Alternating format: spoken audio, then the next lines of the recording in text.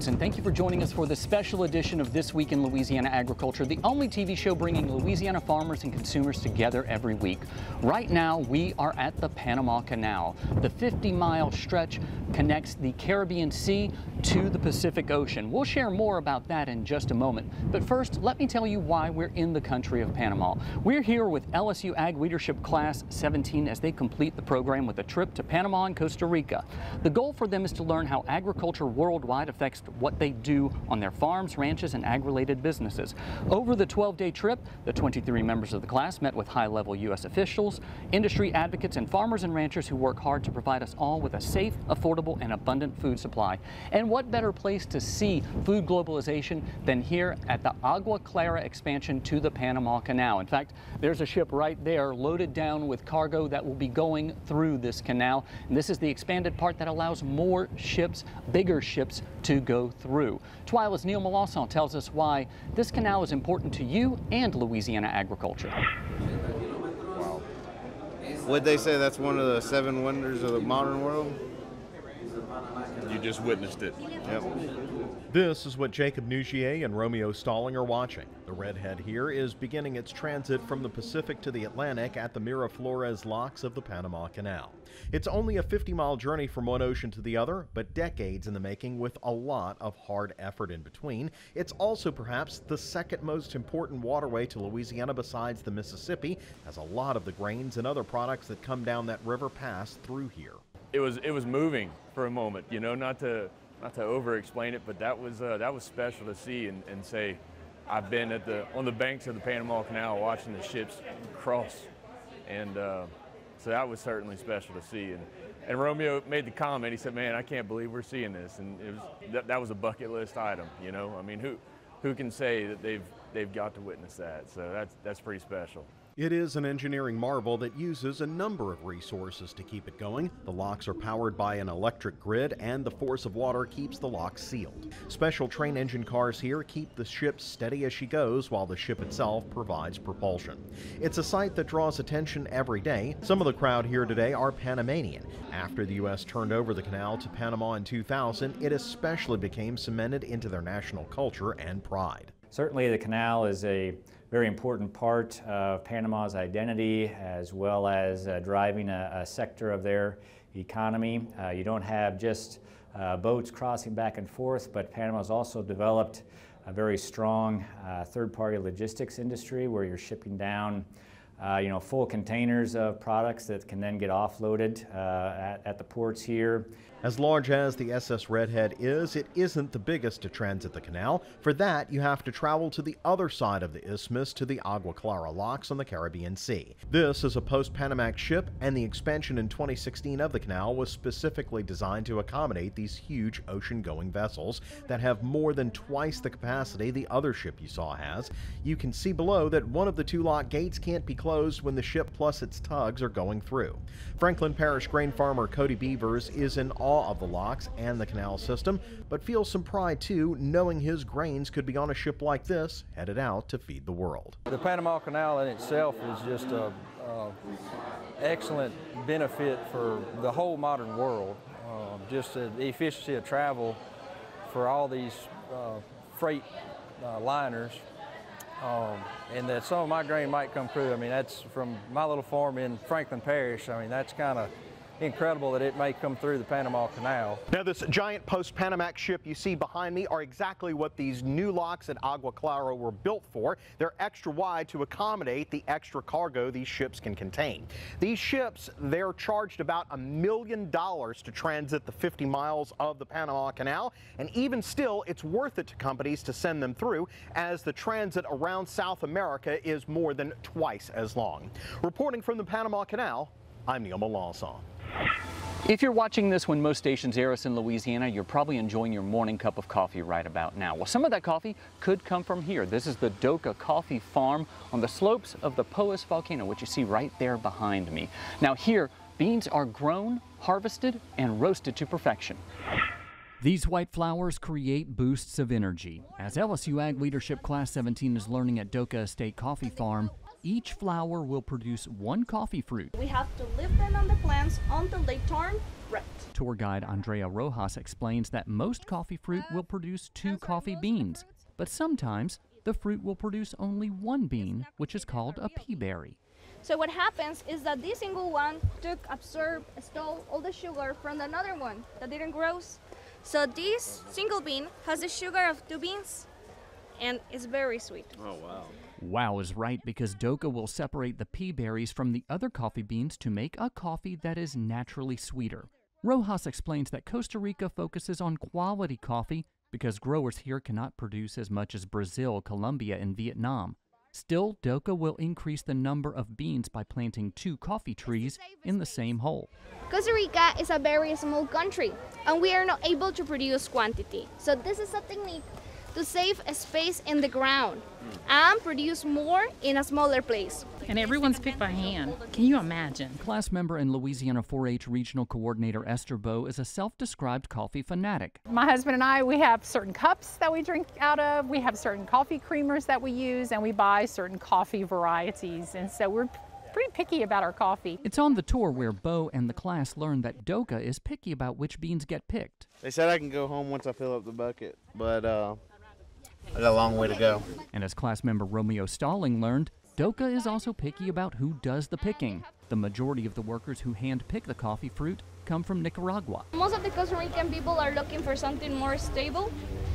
And also because, well, to be honest, Costa Rica have a better economy than their, those countries, or the, the countries in this, in this same region. So, well, uh, Costa Rican people prefer to do another kind of labor. They want skilled labor, they want happy labor, and so when she was talking about the labor, she said that they provide, you know, child care for the family. They want the family to come together. And family is important at Doka as this is a third generation coffee farm still operated by the Vargas family who oversee every step of the process from planting to sun drying of the beans down to the roasting and grinding to ensure you get a quality cup of coffee. This commodity that we consume every day in our homes has a almost a magical feeling. Sugarcane production is big business in Costa Rica, with farmers here growing more than 4 million metric tons of sugarcane in 2022. That's according to the USDA's Foreign Agricultural Service. In that same year, Costa Rica exported more than 78 million metric tons of sugar to the U.S. Meanwhile, its neighbor, Panama, sent more than $21 million worth of sugar into the United States. Welcome to Ingenio Cutris, a sugar mill in the Alajuela province of Costa Rica surrounded by nearly 150 acres of sugarcane. On the inaugural tractor tour of the fields and facilities surrounding the mill, members of LSU Ag Leadership Class 17 get to see the wastewater management practices of the mill where water from the mill is moved from one pond to another to remove sediment and allow useful bacteria to clean the water clean enough for it to be safe haven for wildlife like this caiman. Later on on the tour, the class learns how the mill deals with byproducts of producing sugar bagasse, ash from burned bagasse, and filter cake. At Cutris, those three byproducts are made into compost and aggressively mixed by a tractor. Cutris then uses that compost as the base when planting sugarcane. This is where members of the class involved in sugarcane production got to be hands on with their Costa Rican experience. St. Landry Parish sugarcane farmer Dallas Ardoin poured the compost base. Classmate Romeo Stalling learns a new way of planting sugarcane where single billets are placed across the row, spaced about a foot and a half apart. Class members Randy Richard, a sugarcane researcher and crop consultant, and Matt Gravois, a sugarcane farmer from St. James Parish, demonstrate how they plant cane in Louisiana, with billets or whole stalks in the bottom of the row overlapping each other. So the way that they're planting like that is completely different as, as you know that we do it at home. I think it's something that they're doing it on a trial basis to try to see how it's going to work and they like the the results so far, but I think they're just, you know, they're just starting in their trial and testing on stuff like that. You definitely have a better seed ratio if you can hand plant it that way, but the problem is you would have to have a very immaculate billet and not have any damage to that billet in order for that to work out. It's not just the planting method that seems different to Richard, but the sugarcane fields themselves, most of which are hand harvested by migrant workers from neighboring Nicaragua. Very small plots of sugarcane. It wasn't on a widespread acreage. It was very unique to see sugarcane growing on slopes of mountains. You can see why mechanization of, of harvesting a crop like that would be a challenge with the, the sheer slope of the land. Also, I saw lots of giant boulders in the soil that would impede the harvest. Inside the mill, members of the class see firsthand the process of extracting the juice from sugarcane and then boiling it down to get the raw sugar crystals and molasses. Cutris is one of five mills in the country, and half of the cane that goes through here is grown by the mill, the other half is from nearby farmers. That said, it is a small mill when compared to those in Louisiana. In our terms, a small mill, but I think in their terms, it's a, it's a, it's a normal size mill. But yeah, they're grinding about 2,200 uh, tons a day, which is small for us. It would take this mill here a week to grind without mill grinds in one day. Costa Rica is a smaller but certainly efficient producer of sugar. Evan Mangino is the agricultural counselor for the USDA's Foreign Agricultural Service to Costa Rica and Nicaragua. He says Costa Rica's sugar industry could be more profitable than it is. The sugar industry in Costa Rica, I think, has more potential than what it's allowed to really achieve. Uh, and that's predominantly because, like you mentioned, the cogeneration aspect of you know sugar revenue is very limited for them because in Costa Rica, it is actually not permitted to sell electricity onto the grid, and the national electricity utility does not want to buy it. So the sugar millers here really are missing out on a huge chunk of their potential revenue. Ingenio Cutris does produce electricity by burning bagasse and sells power to a neighboring city, but not to the national grid. It's something Ardoin finds interesting, but he has a deeper connection to this mill. Some of the guys that work for this mill, they come on a contract through our mill, Asuka in St. Martinville. You know, they harvest cane here, that's what they do here, and then they come and they run our harvest crew at home. So it was really cool to see uh, guys that are coming on our farm and that I've gotten to know pretty well to see where they live and where they work and how they operate differently over here than we do at home. There are about 1.5 million head of cattle in Panama and close to that number in Costa Rica as well. For members of LSU Ag Leadership Class 17 who work with cattle, this tour of a ranch outside of Santiago where they raise primarily Brahman cattle was a highlight of the trip. With lush mountains in the background, Brahman cattle graze in the pasture. This is the Calabacito Ranch west of Santiago, Panama. It's one of four ranches where the Spiegel family has been raising Brahman cattle for more than 60 years.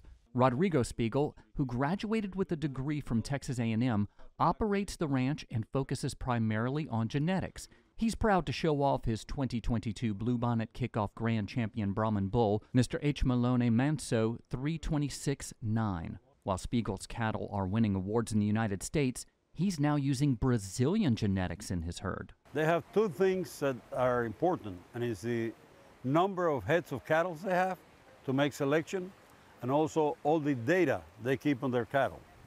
The Brazilians could tell us how many hairs a cow has. They, they, they're they're uh, too much for uh, data.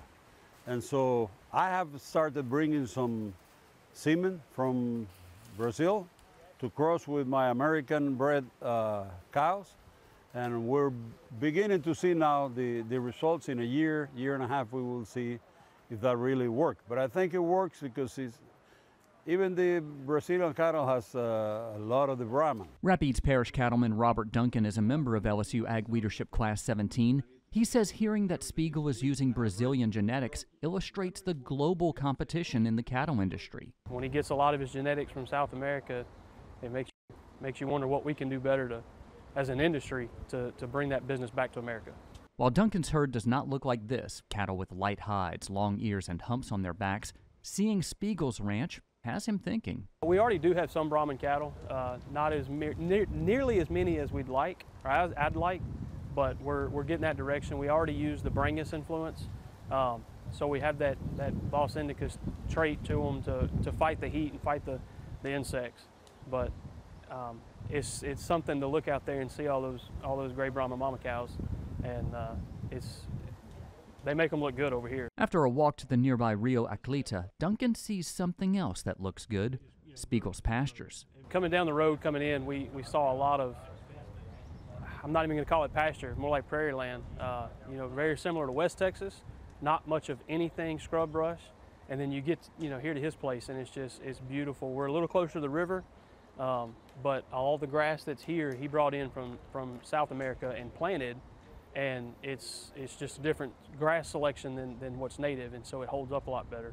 It also holds up because Spiegel makes his own fertilizer using the waste from his cull cow slaughter facility. Now we're processing them and making uh, fertilizer. And we're making it so that we treat it so there will be no weeds on it. And that helps a lot on, uh, could help us a lot on ranches because of the cost of fertilizer. Today the cost of fertilizer is way up high. So if you could use a, a, a cheap, good fertilizer, organic, uh, you couldn't find it any better. What also does not get any better for Spiegel is hosting groups like Class 17. Sharing uh, information with people in the same industry is, uh, is very good because we, we, we talk the same language. Still to come on this special edition of This Week in Louisiana Agriculture, we'll tour a farmer's market in Central America with someone who manages farmers markets in downtown Baton Rouge. But first, Panama and Costa Rica are rich in history and culture. We'll share the experience. Stay with us.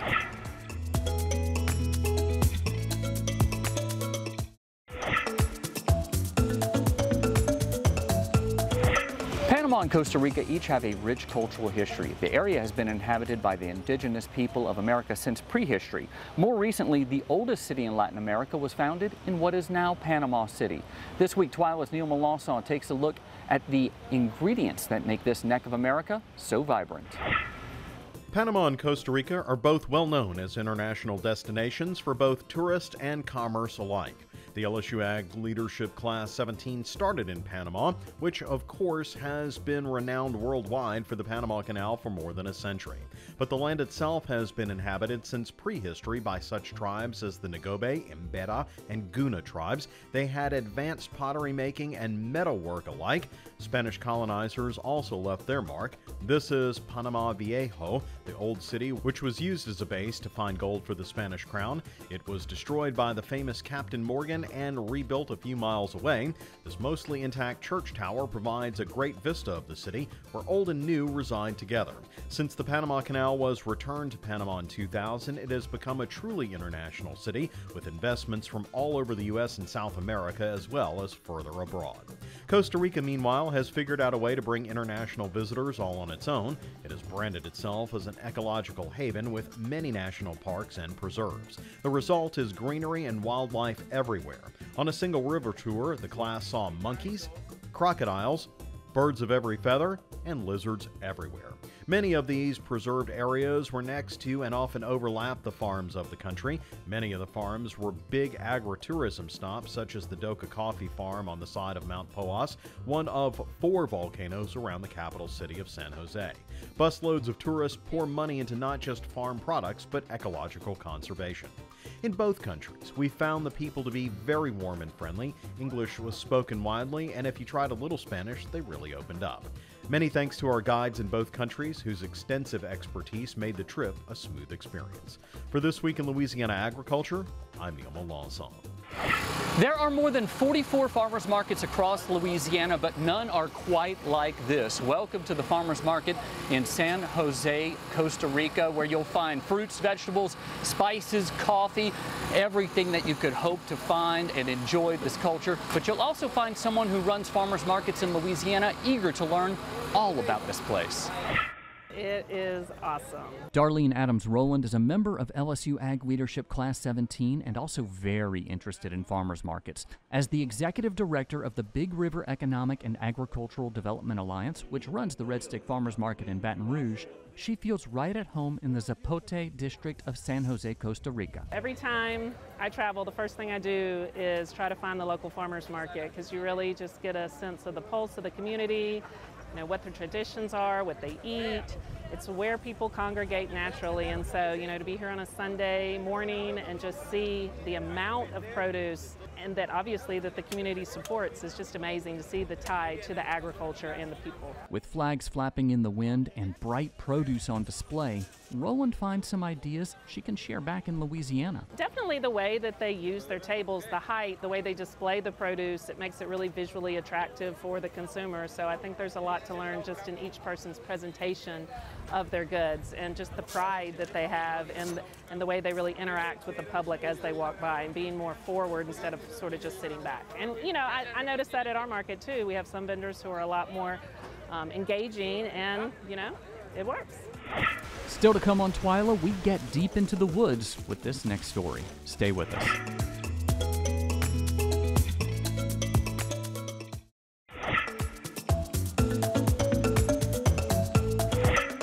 Teak wood is valued because it's strong, durable, and naturally water resistant. And teak grows here in Panama, much to the delight of one forester who is a member of LSU Ag Leadership Class 17.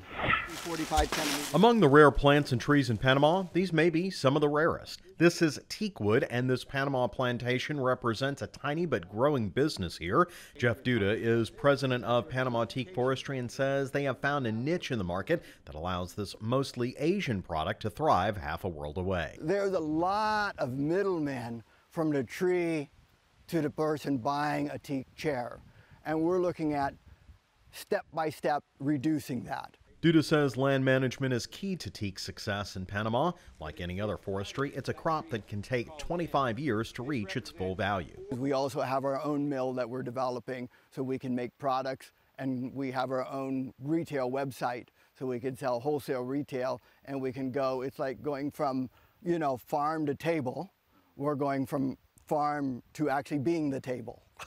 One of the ways land is managed is by culling trees after they get to a certain size. To measure that, this prism is used to count the trees in a certain area. Forester Ben Garasco is familiar with the tool, using it in the Florida parishes of Louisiana for his job. He says while teak is unlikely to be viable back home, there is a lot to learn here. This, this is a real specialty market. Seeing some of the boards, you know, it's a hardwood.